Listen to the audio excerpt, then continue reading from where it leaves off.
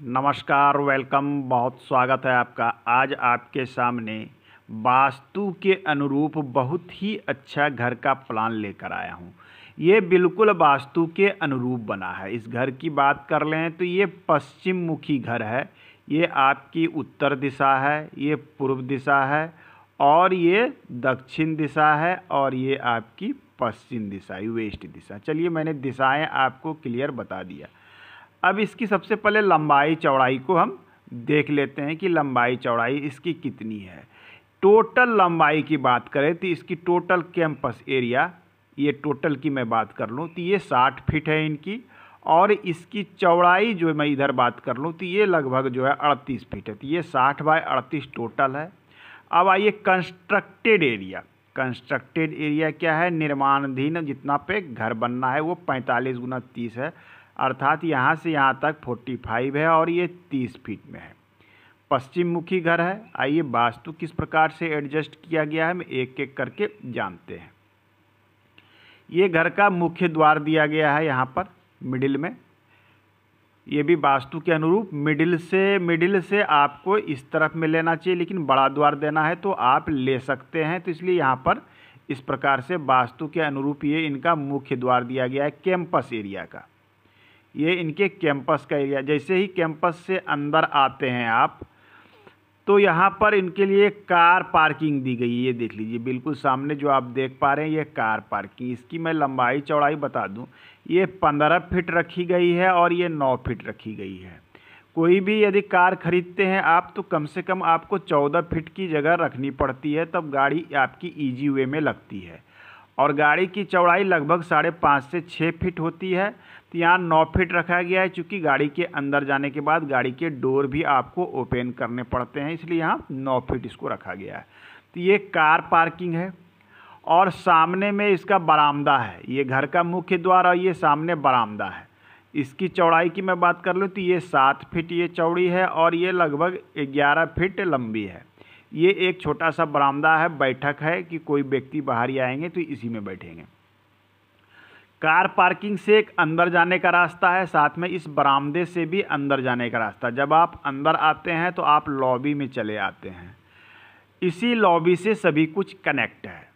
आपको सोने के लिए हमें मास्टर बेडरूम चाहिए तो मास्टर बेडरूम जो बनाया गया ये देख लीजिए, बिल्कुल साउथ और वेस्ट, ये आपका क्या है, वेस्ट है। और ये साउथ साउथ वेस्ट के कॉर्नर नैत्य वाले क्षेत्र में, मैं थोड़ा सा इसमें एक चीज़ क्लियर कर देता हूँ तो आपको कन्फ्यूज़न नहीं होगा। ये वेस्ट है, ये साउथ है। चलिए। ये नैत्य कोण में मास्टर बेडरूम दिया गया है।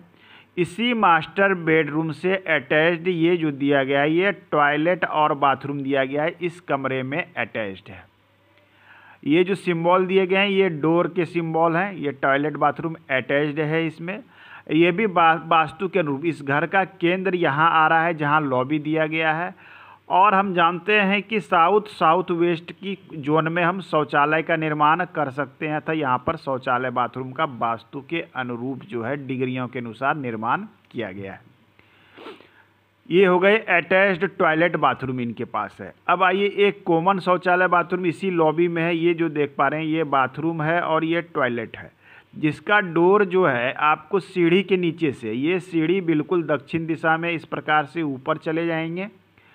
और इसी सीढ़ी के नीचे आप देख लेते हैं, यहाँ जिसे हम सीढ़ी से ऊपर हो जाएँगे, इसके नीचे का भाग खाली रहेगा तो यहाँ पर एक बाथरूम है और यहाँ पर एक टॉयलेट मैंने टी और बी से इसमें सिंबल दे के रखा है, ये बी और टी अब आइए अग्निकोण वाले क्षेत्र में हम चलते हैं तो अग्निकोण अर्थात साउथ ईस्ट का क्षेत्र तो ये अग्निकोण में यहाँ रसोई दी गई है। मैं थोड़ी सी लंबाई चौड़ाई क्लियर कर दूँ, रसोई नौ नाइन फीट और टेन फीट अर्थात नब्बे स्क्वायर फीट की ये रसोई है। सीढ़ी की चौड़ाई यहाँ आठ फीट रखी गई है। ये शौचालय बाथरूम दोनों साढ़े चार साढ़े चार फीट की चौड़ाई वाली रखी गई है। अब लॉबी के बाद आपको यहाँ पर डाइनिंग एरिया मिल जाता है। आप चाहे तो इस डाइनिंग एरिया में, इस कॉर्नर पर एक छोटा सा पूजा घर का भी आप निर्माण कर सकते हैं। ये पीछे बरामदा के रूप में यहाँ खुला भी दे सकते हैं। आप विंडो डोर वगैरह रख सकते हैं बाहर पूर्व दिशा से अच्छी रोशनी और पॉजिटिव ऊर्जा आने के लिए। ईशान कोण वाले क्षेत्र में आप इच्छा के अनुसार यहाँ पर पूजा घर का निर्माण कर सकते हैं। ये जल तत्व का स्थान है, अर्थात जल की व्यवस्था आपको बोरिंग वगैरह इस क्षेत्र में करा लेनी चाहिए। यहाँ आप बोरिंग करा सकते हैं। नेक्स्ट जो दिया गया है, उत्तर की तरफ़ में दूसरा बेडरूम दिया गया है। आप देख रहे हैं, इसका ये डोर है। यहाँ बेडरूम से इसमें डोर है, इधर से आप प्रवेश करेंगे रूम में।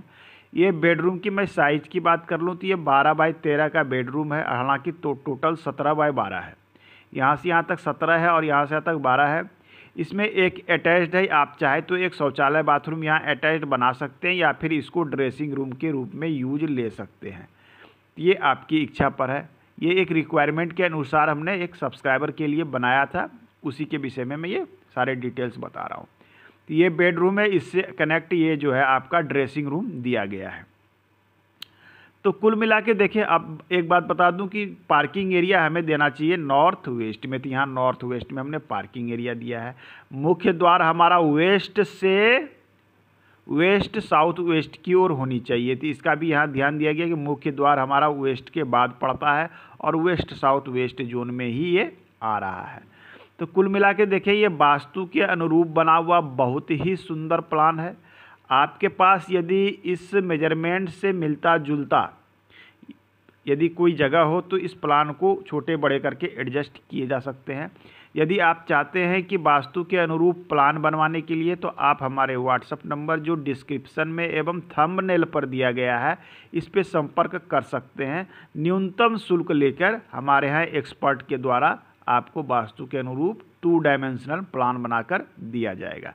आज के अंक में इतना ही। धन्यवाद।